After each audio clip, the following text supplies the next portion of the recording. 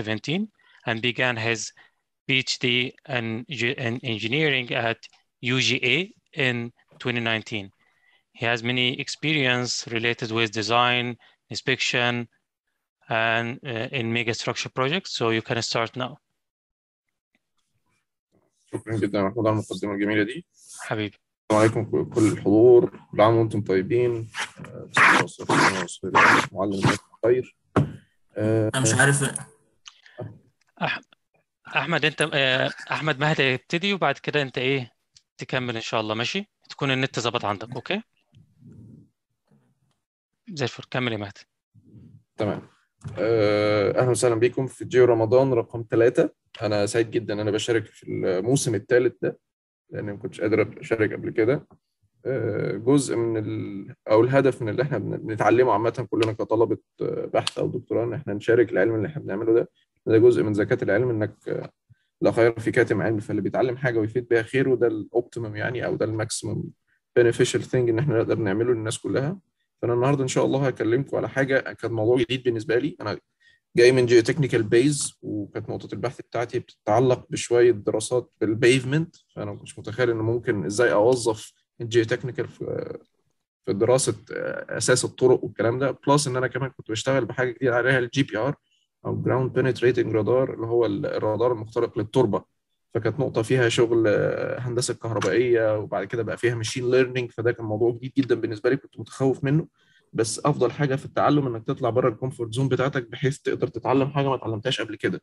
وتقدر تفيد الناس وتوظف الحاجات اللي أنت اتعلمتها بشكل مختلف. ده حاجات بتستفز العقل وبتخليك تشتغل بشكل أفضل شوية بس لو قدرت تخرج بره منطقة الراحة بتاعت عقلك وجسمك يعني. فأنا النهارده إن شاء الله أكلمكم عن إزاي ممكن نستخدم ground penetrating radar في تقييم أساس الطرق اللي هو تربة في الآخر. آه، وهنشوف إزاي نقدر نعمل كده لأن دي تكنولوجيا جاية قادمة وال machine learning بيخ- بيخبط ببان كل المجالات دلوقتي. فأنت ما تقدرش تتجاهله كمهندس مدني ولو إننا التطبيقات بتاعته عندنا لسه مش مش مفهومة قوي ممكن تتنفذ إزاي. بس دي أداة عظيمة جدا جدا جدا. لو قدرنا نطوعها إن إحنا نستخدمها هنوفر وقت وهنوفر فلوس. وهنساعد أكتر بما إننا مهندسين مدني طبعا الكلام المثالي اللي كلنا ساعات بنتهرب منه إن إحنا نخلي الحياة سهلة بشكل أفضل للناس كلها.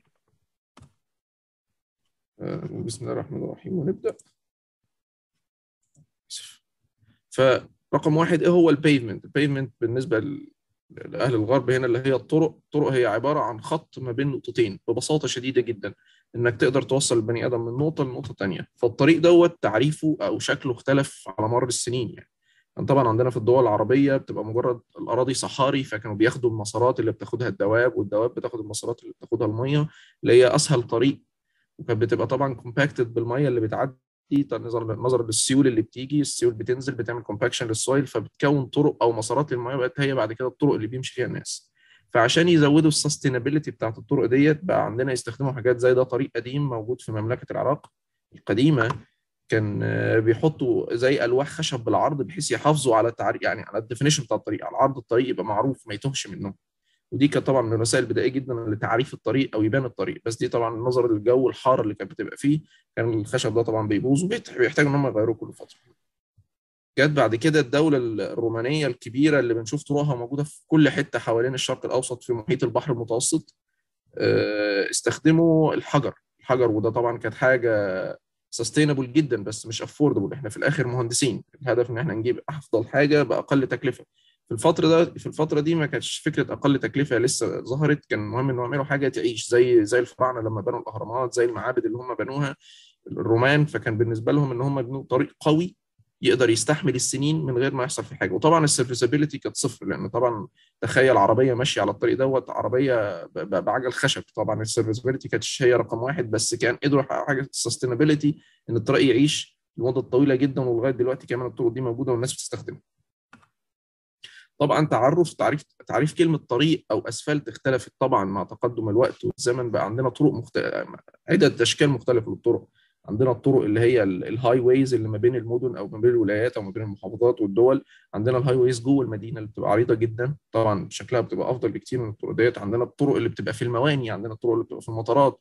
ومع اختلاف تعريف الطريق في كذا مكان اختلفت ال stresses أو الأحمال اللي بتيجي على الطريق دوت وإزاي نقدر نتعامل معاها بحيث نحقق ال sustainability لمدة أطول من الوقت. فإحنا بقى عندنا تعريفين جداد موجودين. موجود حاجة اسمها ال sustainability وال resilience إيه الفرق الكبير بين الاثنين ال resilience هي إن الحاجة تعيش sorry ال sustainability إن الحاجة تعيش. بال capacity بتاعتها إنها تقدر تعيش لمدة طويلة وال resilience إنها تقاوم بقى الأحمال اللي جاية ايا كانت إيه فإحنا بقى عندنا حاجتين لازم نحققهم معظم الوقت ال resilience وال sustainability طب إزاي أقدر أحقق الاثنين وفي اعتباري طبعا ال economy وال cost اللي المفروض إن أنا هكلفه أو التكلفة اللي أنا هكلفها عشان أبني طريق زي دوت يقدر يعيش مدة طويلة وفي نفس الوقت يقدم خدمة كويسة. معظم الأحمال اللي بتتعرض لها الطرق اللي إحنا نعرفها زي ال rutting اللي هو الهبوط اللي بيحصل في الطريق هنا كده أو زي ال water pits لما الدنيا بتمطر دي من الحاجات العدوة للأسفلت. وفي حاجات إحنا ما بنشوفهاش في بلادنا العربية بس موجودة في الغرب كتير اللي هي الفروست والهيف الفروست والثو اللي بيحصل تجمد وذوبان للجليد تجمد وذوبان للجليد. فده الكلام ده التلج بيخش طبعا جوه أي crack لما يحصل له تجمد وحجمه بيزيد فيبهدل الطرق ويدمر الدنيا خالص. فأنت بتوصل لمرحلة ساعات يا إما بتبقى محتاج تعيد بناء الطريق كله أو تعمل مجرد وش أسفلت زي ما بيقولوا أو تحط طبقة أسفلت خفيفة بس عشان تظبط الأداء تظبط السيرفيسابيلتي بتاعتك. فأنت عشان تقدر تقرر بين الاثنين بين إن يا دوب محتاج بس طبقة أسفلت فوق أو تعيد بناء الطريق كله ده قرار كبير جدا وبيفرق جدا جدا جدا في التكلفة. طبقا لاخر تقرير طلع في ولاية جورجيا هنا من سنه 2019 عن التكلفة المالية للطرق. أنت عشان تقدر تغير ميل واحد أو اللي هو 1600 متر من حارة واحدة عشان تحط لها أسفلت بس بتتكلم حوالي 86000 دولار. بنتكلم تقريبا 90000 دولار. وعشان تبني نفس الميل في الحارة دي ال 1600 متر دول محتاج حوالي 450 ألف دولار. فالفرق كبير جدا جدا جدا في التكلفة. فأنت بتبقى مش عارف تاخد القرار. طبعا إحنا كمهندسين geotechnical عارفين إنك عشان تحكم على حاجة أنت مش شايفها لازم تعمل جسات كتير لازم تعمل اختبارات كتير الكلام ده بياخد وقت. فأنت بتعمل محتاج لوسيلة لوسيلة ما. تقدر تساعد متخذ القرار أو تقدر تاخد أنت القرار كمهندس إن تقول لا الحتة دي من الطريق محتاجة سفلتة بس مجرد طبقة أسفلت عشان ال serviceability تتظبط عشان ال cracks اللي عندي مجرد بس على ال surface. أو محتاج تقول لا ده الطريق بايظ خالص والدنيا متبهدلة ال pavement عندي بايظ وال sub وال subbase بايظة اللي هي طبقة التأسيس وال subgrade كمان ال soil اللي محطوط عليها الطريق بايظة وال cracks دي مبهدله الدنيا بطول الطبقة فانا محتاج ابني الطريق من أول وجديد. طبعا إحنا ك geotechnicals كل تفكيرنا بيروح زي الأخ أحمد اللي كان قبل بيتكلم عن ال foundations والكلام ده. وأنا كانت دماغي كده بصراحة بس اكتشفت إن معظم ال researches حوالين العالم كلها بالذات في ال geotechnical بتبقى رايحة ناحية الطرق. لأن الطرق ال variety واسعة جدا بتتعامل مع أنواع كتير جدا جدا جدا من التربة لأن الطريق بيمشي في نقطة واحدة أو spot واحدة. طبعا ده مهم وده مهم جدا. ال piles أو ال foundations العادية بتاعتنا بنتعامل مع spot لكن الطريق بنتعامل مع طريق كبير جدا فأنت عشان تقدر تختبر طريق طوله مثلا 500 mile ولا 600 mile ده بياخد وقت طويل جدا. فأنت محتاج برضو أداة تبقى سريعة تقدر تطبق بيها الاختبارات ديت تقدر تاخد بيها قرار تقدر تساعد الناس إنها تاخد القرار. وظهر مؤخرا طبعا حاجات اسمها non-destructive testing فأنت قللت طبعا التداخل مع التربة إنك تعمل اختبارات الجسات والكلام دوت. طيب كفاءة الاختبارات دي إيه؟ زي ال infrared thermography دي الحاجات دي بس مجرد على السطح. ال infrared thermography دي يا دوبك بيعرفوا بيها بس أشكال ال cracks. في عندنا ال ultrasonic testing دي اللي نقدر نعمل بيها اختبارات ونشوف حاجات زي اختبارات الكفاءة بتاعة الجسات لما بنشوف كفاءة الجس ال integrity test بتاع ال pile نشوف قطاع ال pile الحاجات دي كلها. الحاجات دي نقدر نطبقها في ال pavement برضه. نقدر نشوف طبقات التربة تتابعها أخباره إيه. طبقات الأسفلت مع طبقات التربة. بس still برضه بطيئة شوية لأن أنت بتحتاج تقف عند spot spot تختبرها. وك geotechnical engineer أنت عارف كويس جدا إنك في أي تقرير يقول لك الجسه لا تعبر إلا عن نفسها. لأن إحنا عارفين إن التربة ممكن تختلف من spot ل spot جنبها بقى في أقل من مثلا متر أو نص متر. فكان في حاجة اسمها ال ground penetrating radar ال ground penetrating radar هو ببساطة جهاز رادار زي فكرة الخفاش بيطلق electromagnetic wave تصطدم بهدف الهدف ده بيرد reflection electromagnetic wave ثانية بتستقبلها عن طريق ال GPR وتبدا تترجم الكلام دوت عن طريق انعكاسات أو ال frequency فال frequency ده بيبقى حاجة specific جدا زي بصمة الصباع كده للجسم دوت. يعني الجسم مثلا الصلب غير الجسم الرخو لما يبقى تربة فيها مية غير تربة ما فيهاش مية. ال reflection اللي راجع دوت بيبقى ليه خصائص مميزة للتربة أو للهدف اللي اصطدم بيه. طب ليه أنا ما أطبقش الكلام دوت عندي في التربة؟ قبل أربع سنين أو خمس سنين كان ال ground penetrating radar handheld لازم تمسكه بإيدك وتتحرك بيه على ال spot اللي أنت عايز تتحرك عليه. وناس كتير بتستخدمه بتوع الآثار بيستخدموه كتير جدا عشان استكشاف الآثار اللي تحت الأرض الغرف المقفولة زي اللي استخدموه في الهرم الأكبر لما كانوا بيستكشفوا الغرف اللي ما زالت مغلقة في الهرم الأكبر ده كان جهاز ال GPR بيستخدموه الناس اللي بيستخرجوا الذهب لأن هو هايل جدا في استخراج المعادن لأن ال reflection بتاع المعادن بيبقى عالي جدا. طب أنا ليه كمهندس مدني ما أبدأش أبص على ال tools الموجودة دي أطوعها في الاستخدام بتاعي؟ آخر أربع سنين زي ما قلت ابتدوا يعملوا حاجة sorry قبل الأربع سنين كان حاجة اسمها ground coupled antennas ال ground coupled antennas أو ال antennas دي لازم تبقى ملاصقه للأرض وأنت بتعمل ال scan عشان جزء كبير من الطاقة بيفقد لما ال waves دي بتمشي في ال air فطول ما هي ماشية في ال solids عارفين طبعا إن ال solids موصل قوي جدا. لل waves لل electromagnetic waves فلما بتمشي في الهواء بتفقد جزء كبير من الطاقة بتاعتها. ولذلك لما بيبقى في void تحت بيبان سواد في الاختبارات بتاعت ال GPR دي. فاحنا است... كانوا لازم ال antennas قبل كده لازم الجهاز يبقى ملاصق للأرض أو بالكثير 2 3 سم بعيد عن الأرض عشان يقدر إيه يبعت ال waves ويستقبلها تاني. آخر أربع سنين كذا شركة ابتدت تطور حاجة اسمها ال air coupled antenna بيبقى فيها بتطلق ال waves. بطاقة عالية جدا حتى ال frequency بتاعها بيبقى عالي جدا حوالي 2 جيجا هرتز بت... بت... بتحاول بيه تبعت wave القوة بتاعتها كبيرة جدا وبتقدر تخترق الهواء وبتخترق الأرض بس بتوصلش لأعماق كبيرة جدا.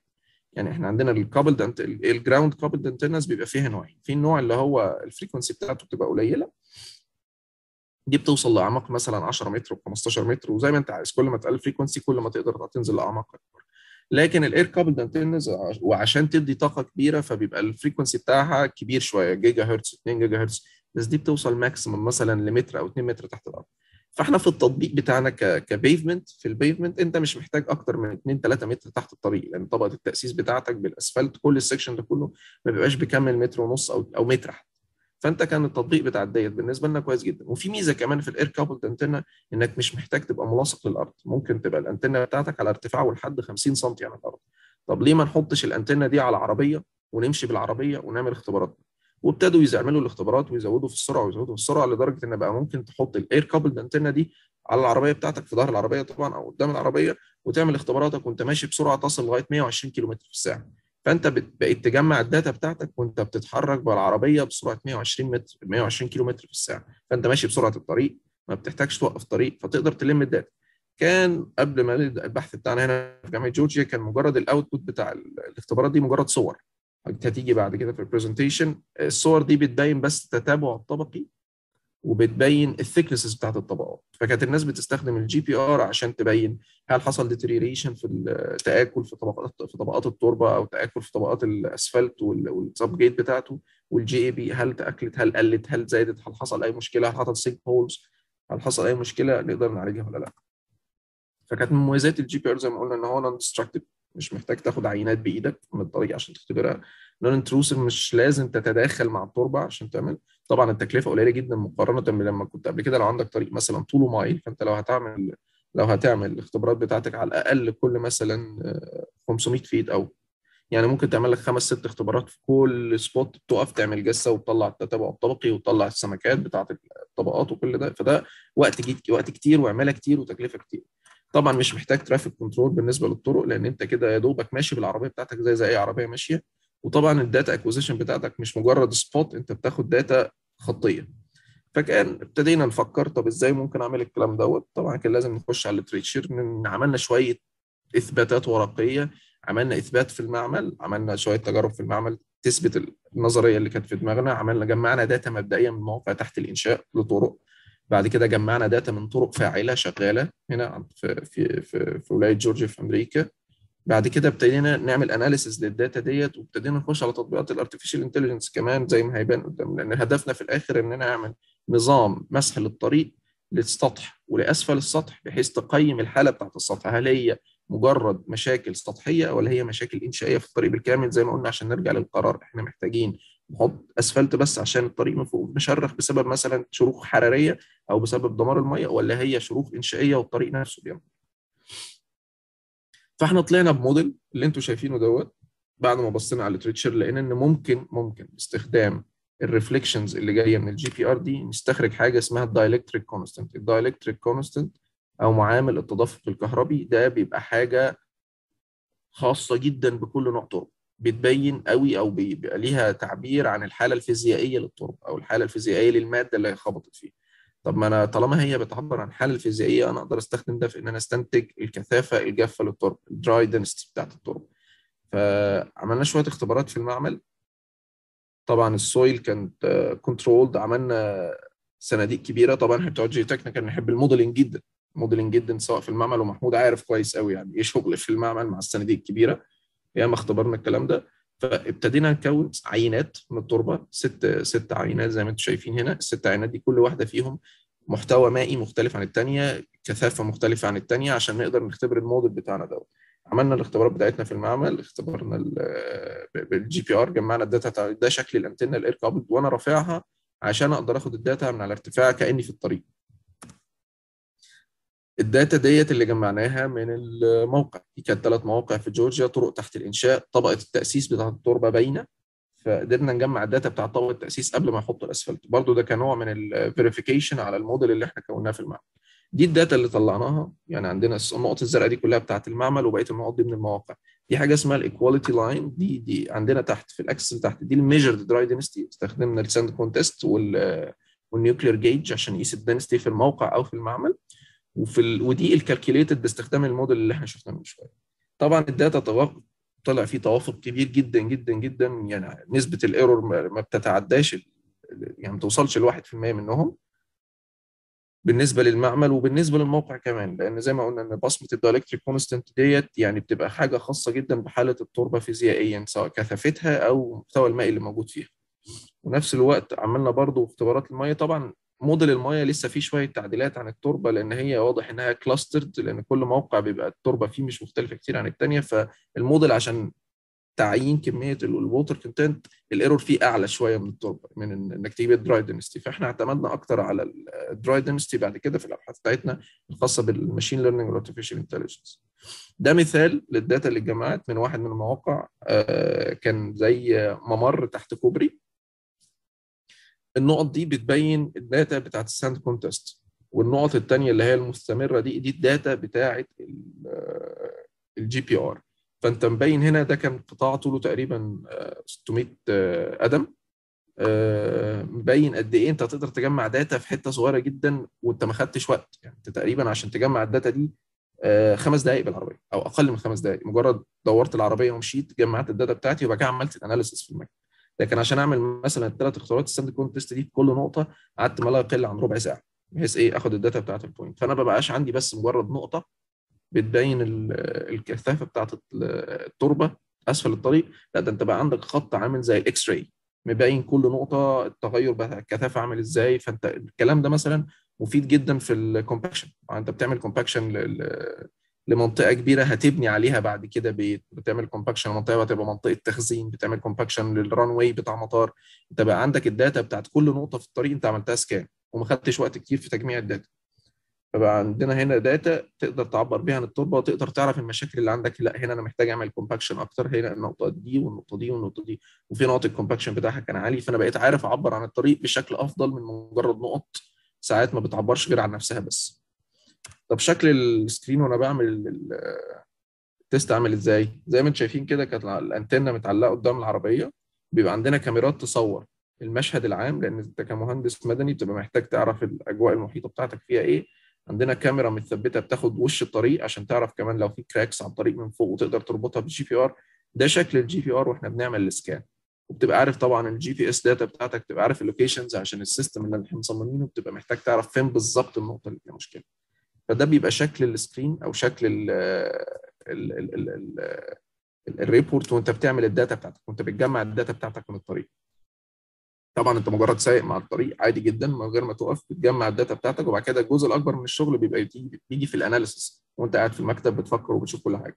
فالصور والفيديو بقت جزء مهم جدا جدا جدا من اللي بتساعد في ال analysis عشان تقدر تحكم لأن الوضع بيتغير ال weather بيفرق جدا في في الحكم بتاعك على ال data بتاعت ال GPR حالة الطريق. زي ما انت شايفه في الكاميرا بتاعت ال surface لو في مطر ولا ما فيش مطر لأن ال GPR لا يعمل جيدا مع المياه بيبقى في ال noise بتبقى أعلى بكتير لأن هي في الأول وفي الآخر هي إشارات electromagnetic waves بتأثر بوجود الميه ونظرا إن الميه ساعات بيبقى فيها أملاح. فالأملاح بتأثر طبعا على على النتائج بتاعت ال GPR تمام شفنا ال data بتاعت ال field شفنا ال data بتاعت ال lab. طب عايزين بقى نجرب في, طرق فاعلة طرق شغالة. فرحنا لل interstates. ال interstates هنا اللي هي الطرق اللي بت بتربط بين الولايات وبين بعضها زي ما بيقولوا الطرق بتاعت أيزنهاور. فاستخدمنا العربية بتاعتنا الفان بتاعت ال GPR ديت مسحنا حوالي 570 ميل من الطرق اللي بيعتبروها من الطرق الحساسة. طبعا إحنا كنا عشان دي اختبارات بس فكنا بنعمل scan لحارة واحدة بس الطريق بيبقى ست حارات أو سبع حارات بتعمل اختبارات على الحاره البطيئة فقط. دي ال map ال map ديت أنا هتكلم عليها كمان ثلاث دقائق بالظبط. إحنا عشان نجمع ال data ديت قعدنا بالظبط ثلاث أيام ثلاث أيام فقط. بنتكلم driving time وقت السواقة بيبقى حوالي ثلاث ساعات أو أربع ساعات الصبح بعيدا عن أوقات الذروة طبعا عشان تقدر تسوق براحتك. يعني أنت أنت دلوقتي بتدور على الوقت الفاضي عشان أنت ما تعطلش مش عشان أنت ما تعطلش. عشان أنت ما تعطلش وتقدر تخلص تجميع ال data بتاعتك بسرعة. جمعنا ال data بتاعتنا عملنا ال analysis وطلعنا بال map دي. ال map دي interactive map بتقدر منها هوريكم حالا ال map دي نقدر نعمل بيها إيه. ال map دي interactive map بتقدر أنت كل مرة تعمل scan تزود تغير ال data بتاعتها زي Google Map. لما بتبقى في الطرق بس دي بتبين الكثافة بتاعت التربه تحت الطريق. فإحنا لو جينا مثلا عايزين نبين الصور في sections فيها صور. dry density بتاعت الطريق هنا 87 pound per cubic feet هنا 90 في طرق تانية ال density كانت أعلى فدي 120 فدي بعيد شوية عن الطرق فما فيش عليها stress كتير. فأنت بتقدر تبين من ال map ديت الكثافة بتاعت الطريق أسفل أسفل اسفل أنت مش محتاج دلوقتي تقف تعمل جسه عشان تقدر تعمل اختبارات على التربة اللي تعنيك كمهندس طرق. عايز تعرف كثافة التربة قد إيه عشان تقدر يا إما تعمل صيانة للطريق أو تعمل تغير ال section بتاع الطريق بقت تقدر تعمل الكلام ده وكل مرة تعمل scan تقدر تعمل update لل data ديت ف map interactive زي ما بيقولوا تقدر تستخدمها في أي وقت وتخش تشيك على ال data بتاعتك. طيب إحنا دلوقتي جمعنا ال data إيه. ال data اللي جمعناها؟ ال data اللي جمعناها من الطريق عندنا حاجتين حاجة من ال GPR ground penetrating radar وال dash cam ال dash cam اللي هي الكاميرا الكاميرتين اللي بنستخدمها ال GPR عندنا منها ثلاث حاجات مين الحاجة الأولانية ال numeric data الأرقام ال reflections اللي جاية من ال GPR نفسه عندك فيديو images لل subsurface بقت تقدر تشوف التتابع الطبقي وشكل الطبقات عاملة إزاي والتخانات أو السمكات بتاعت الطبقات تحت التربة بتاعت التربة وبتاعت القطاع الأسفل. وعندك ال data بتاعت ال GPS طب ال numeric data أنت قدرت تجيب منها ال density قدرت تحسب حاجة اسمها ال dielectric constant قدرت تعرف التخانات كأرقام بتاعة الطريق.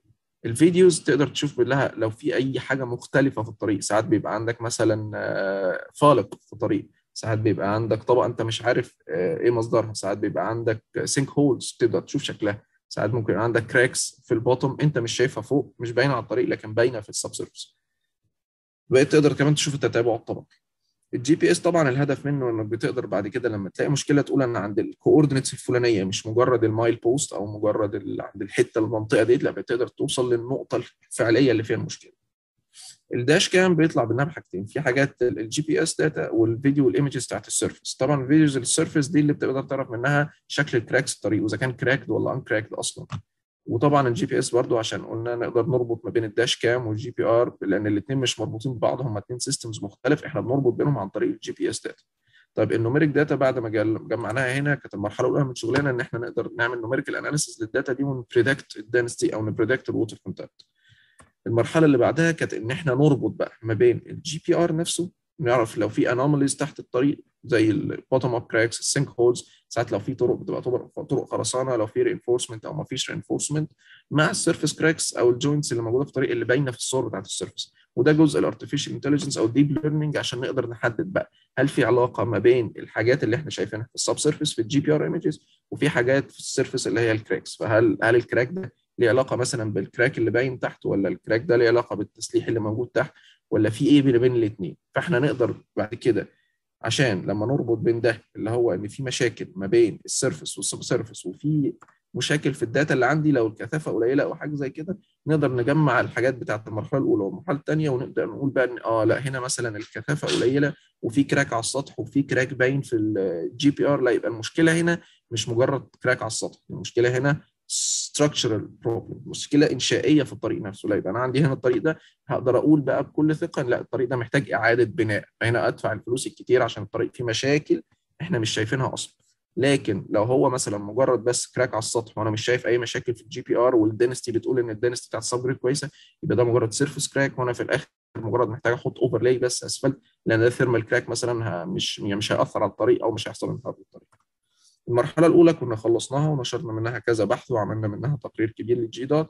دي الأبحاث اللي اتنشرت طبعا موجودة لو أي حد عايز يسأل عنها أنا تحت أمركم طبعا.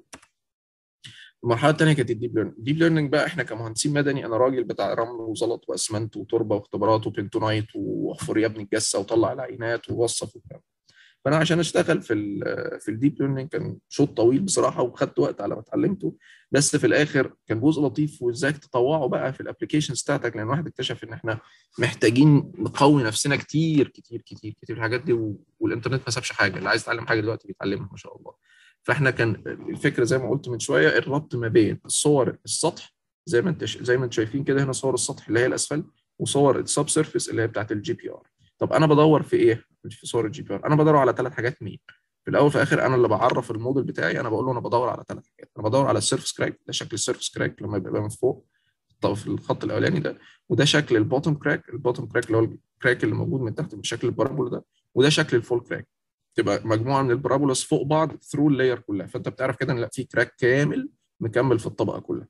ده اللي أنا بدور عليه. فأنت بتعمل حاجة في الطرق من فوق حاجة اسمها segmentation semantic segmentation للأسفلت نفسه من فوق. وبالنسبة لل لل sub surface images اللي هي بتاعت ال GPR بنستخدم حاجة اسمها ال object detection فهنا بوريك شكل ال objects اللي أنا محتاج أطلعها واللي أنا أطلعها أكتشفها من الموديل بتاع ال GPR ودي ال semantic segmentation اللي بستخدمه الصور بتاعت الاسفلت قابلتنا مشكلة تانية برضو كانت المشكلة بتاعت ال GPR images يعني صور الأسفلت موجودة كتير. تقدر تلاقيها في أي حتة. لكن ال GPR الصور بتاعته ما تلاقيش مكتبات available online فأنت محتاج تعمل data base كبيرة جدا عشان تقدر تعمل training لل model بتاعك اللي هيعمل object detection وده شيء لو تعلمونه عظيم والله في ال deep learning إنك محتاج كل ما ال data بتاعتك بتبقى أكبر طبعا كل ما ال analysis يبقى أكتر فإحنا طلعنا موديل تاني إن إحنا نعمل synthetic data data اصطناعية. آه كأنك بتقول يعني كأنك بتخلق data مش موجودة فعليا بس عشان تقدر تدرب الموديل بتاعك.